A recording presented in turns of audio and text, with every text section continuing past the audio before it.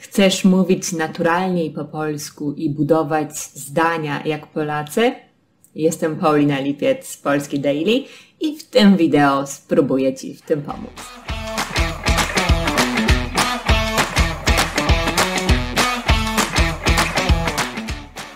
Prawdopodobnie już na początku swojej przygody z językiem polskim dowiedziałeś się, dowiedziałaś się, że szyk zdania, czyli word order, po polsku jest dowolny. To znaczy, że możesz sobie manipulować słowami jak chcesz. Totalny chaos.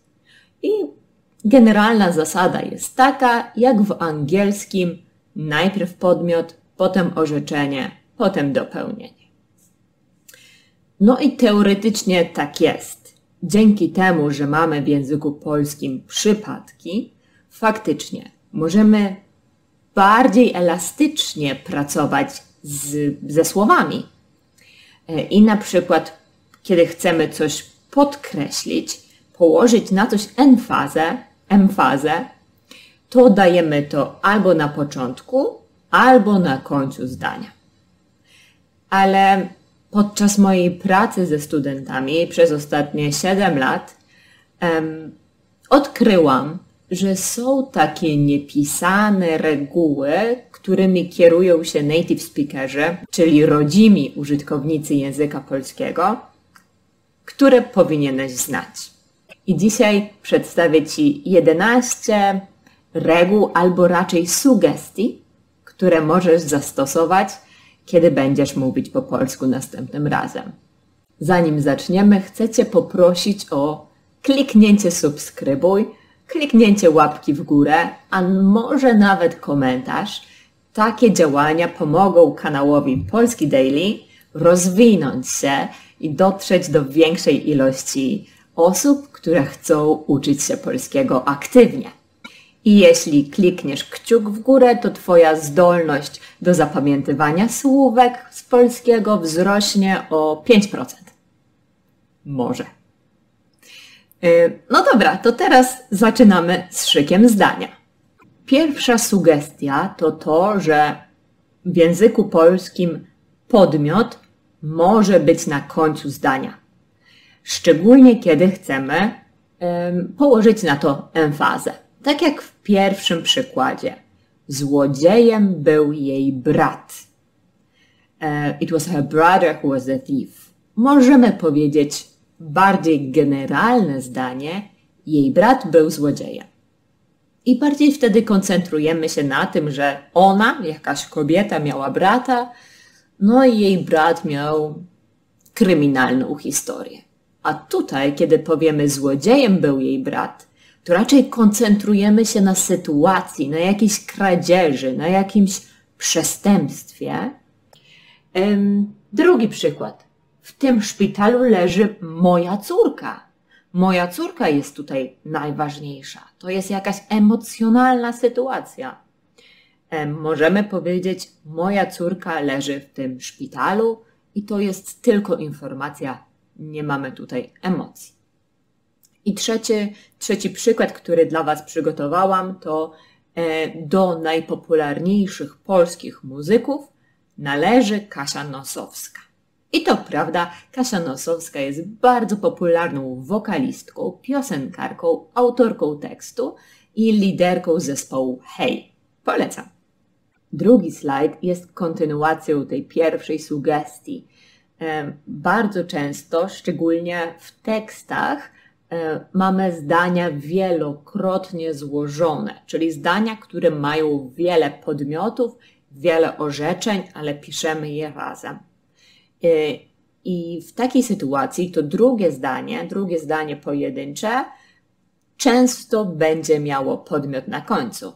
Na przykład, mm, mamy pierwsze zdanie. Dostałem pracę w gazecie, gdzie mój brat pracuje. I tutaj teoretycznie, jeśli, jeśli dalej myślimy, że w języku polskim mamy szyk zdania, podmiot, orzeczenie, dopełnienie, to tutaj coś nie gra, bo to pierwsze zdanie, gdzie mój brat pracuje, nie brzmi naturalnie. Brzmi może jak poezja albo może jak coś archaicznego, albo może jak coś religijnego. Nie brzmi tak, jak ludzie mówią. Ale możemy to zmodyfikować i możemy powiedzieć: Dostałem pracę w gazecie, gdzie pracuje mój brat. Bardzo naturalne zdanie. Dokładnie taka sama sytuacja. Wybrałam piosenkę, której dziadek nauczył mnie. I to zdanie brzmi jak piosenka. No bo wiadomo, w piosenkach autorzy tekstów muszą tak zmieniać reguły, żeby im pasowało do rytmu. Kiedy mówimy, nie myślimy o rytmie, myślimy o tym, co brzmi naturalnie. Dlatego naturalne będzie wybrałam piosenkę, której nauczył mnie dziadek. I trzecia sugestia. Na początku zdania często stoją miejsca. Polacy bardzo lubią dawać na początku zdania lokalizację. Dlaczego? Trudno powiedzieć. Po prostu tak brzmi dla nas naturalnie. Może lokalizacja jest dla nas ważniejsza niż osoba, niż to, kto wykonuje akcję. E, I tutaj zaznaczyłam Wam żółtym ptaszkiem zdanie, przykład, który jest możliwy. To nie jest złe zdanie. Możemy to usłyszeć. Mm, ludzie chętnie jedzą szparagi w Niemczech. Okej, okay. ale dużo bardziej naturalnie będzie powiedzieć, w Niemczech ludzie chętnie jedzą szparagi. W Niemczech ludzie chętnie jedzą szparagi. Tutaj natomiast mamy zdanie: Ciasto jest zawsze w niedzielę w moim domu. I możesz pomyśleć: OK, ciasto to podmiot, jest orzeczenie. No i reszta zdania tutaj mamy, mamy dopełnienie, powiedzmy. Ale nie, to nie jest dobre zdanie ciasto tutaj nie jest najważniejsze. Najważniejszy jest mój dom. Więc w moim domu zawsze w niedzielę jest ciasto. I to nie znaczy, że ciasto tutaj nie jest ważne. Ono jest ważne, ale mm, dom też jest ważny, więc mamy na początku lokalizację i to ciasto idzie na koniec i brzmi bardzo naturalnie. Więc tutaj mamy też tą kombinację dwóch sugestii. Podmiot na końcu, lokalizacja na początku. Bardzo polskie.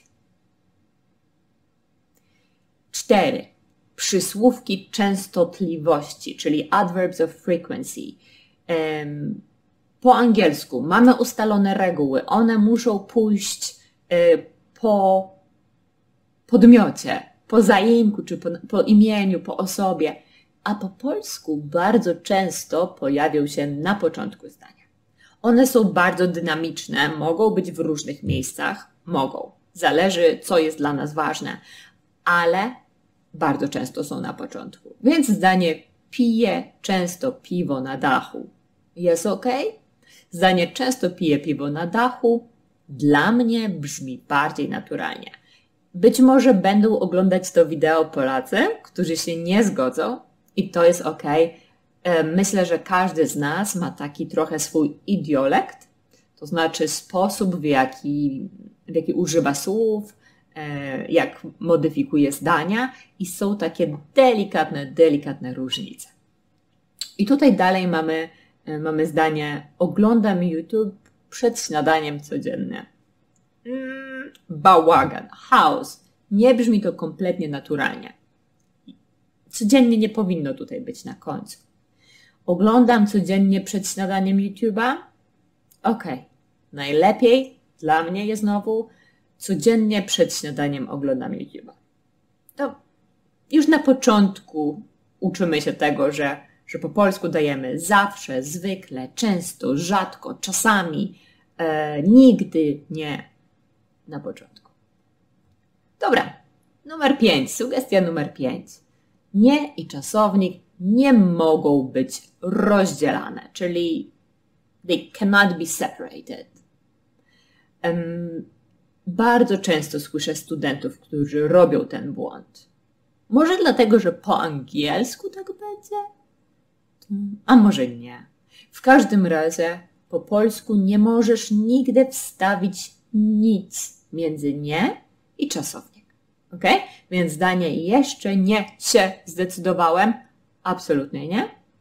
Jeszcze się nie zdecydowałem. Czyli możesz myśleć o tym, że ta relacja między słowem negującym nie i czasownikiem jest silniejsza, są lepszymi przyjaciółmi niż czasownik i się. Bo jak wiesz, na pewno już wiesz, jeśli oglądasz to wideo, to wiesz, y, że w języku polskim są czasowniki zwrotne, refleksywne, to takie czasowniki, które zawsze idą w parze się. Ale się jest bardziej dynamiczny. Się może skakać, może zmieniać pozycję, tak jak mu wygodnie, a nie, nie stoi przed czasownikiem. Drugi przykład. Nie sobie mogę wyobrazić. Słyszałam wiele razy. Nie wolno? Nie mogę sobie wyobrazić. Tak brzmi naturalnie. Kolejna sugestia.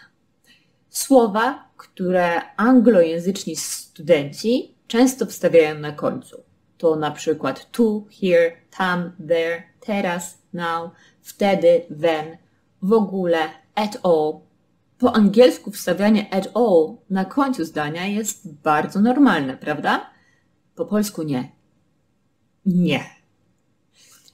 Dlaczego mieszkasz tu? Mhm. Dlaczego tu mieszkasz? Tutaj jest jeszcze ta druga reguła, o której za chwilę będę mówić, że słowa, które mają jedną sylabę, nie powinny być na końcu. To nie jest nie zgadza się z polską melodią, z rytmem języka polskiego. Jak masz kilka krótkich słów, to daj je razem do środka. Tak trochę brzmi jak przepis na ciasto. Drugi przykład. Czy możesz wyjść teraz? Czy jest sytuacja, w której to, to zdanie będzie brzmiało dobrze? Myślę, że tak. Myślę, że są sytuacje, kiedy chcesz bardzo podkreślić teraz, w, kon w kontraście do za godzinę na przykład. Yy, mogę wyjść za godzinę. Za godzinę? Nie możesz wyjść teraz?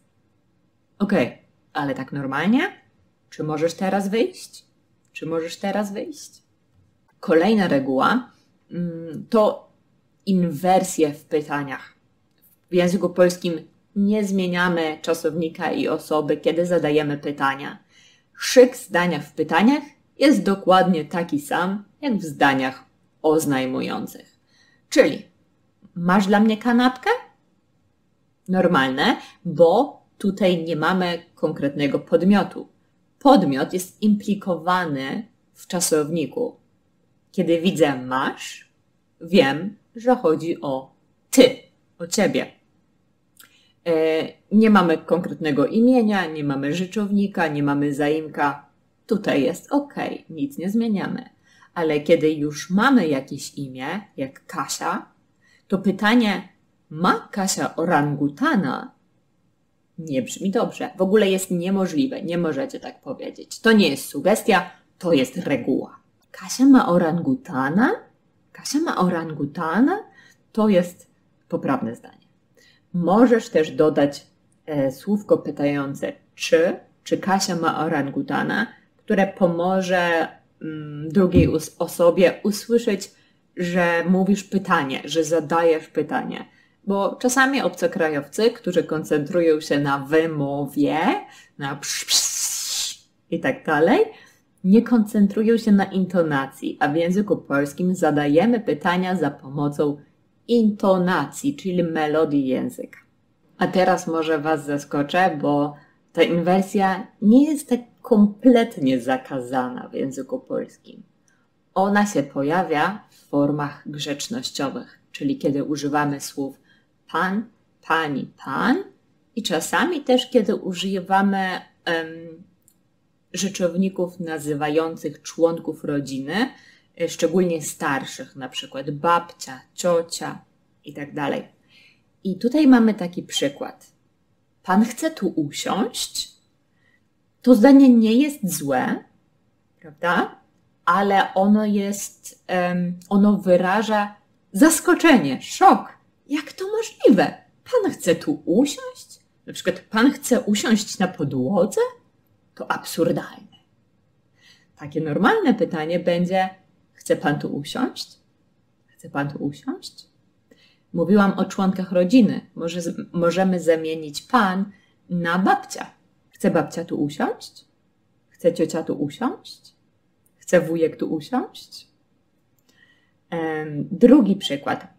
Państwo mają coś do oclenia? Do oclenia to znaczy to declare, na przykład na, na lotnisku. Więc kto może powiedzieć takie zdanie, takie zaskoczone zdanie? Na przykład jakiś oficer, jakiś um, um, urzędnik na lotnisku, który wolałby zjeść kanapkę, a nie pracować nad rzeczami do oclenia. Wtedy on powie: Państwo mają coś do oclenia? No dobra, ale bardziej naturalnie jest: Mają Państwo coś do oclenia? Kompletnie neutralne pytanie. Kolejna reguła to się. Wspominałam już o się, które jest bardziej elastyczne niż nie, bardziej sobie skacze, ale nie lubi być na końcu. Nie lubi. Jeśli musi, to będzie, jak tutaj, opalam się.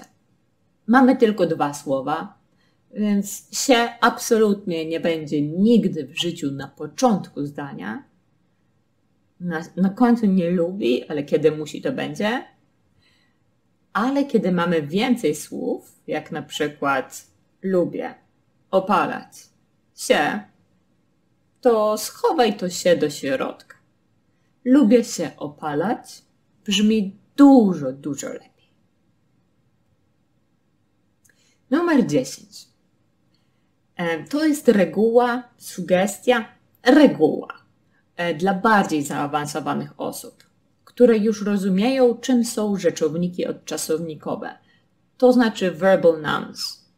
Robić, czasownik, robienie, rzeczownik odczasownikowy. Jeść, czasownik, jedzenie, czasownik odczasownikowy, rzeczownik odczasownikowy. Yy, a więc, kiedy mamy normalny czasownik, to się nie będzie na końcu. Traktujemy je jako coś, co może skakać. Karolinie trudno się uczyć. Normalne zdanie. Ale kiedy zamienimy uczyć się na uczenie się, czyli studying, learning, to wtedy już się staje się integralną częścią rzeczownika odczasownikowego i nie, możesz, i nie możesz zmieniać jego pozycji. Więc zdanie Karolina ma problemy z się uczeniem jest niemożliwe. Nigdy tak nie powiemy. Karolina ma problemy z uczeniem się. To brzmi dobrze. Już tutaj rytm mamy zachowany. Następna reguła jest dla wszystkich i myślę, że już um, zadawaliście takie pytanie swoim nauczycielom na początku nauki języka polskiego. Dlaczego czasami mówimy zimny sok, ale sok pomarańczowy? I tutaj chodzi o funkcję, jaką pełni nasz przymiotnik, czyli adjective. W zdaniu lubię gorącą zupę.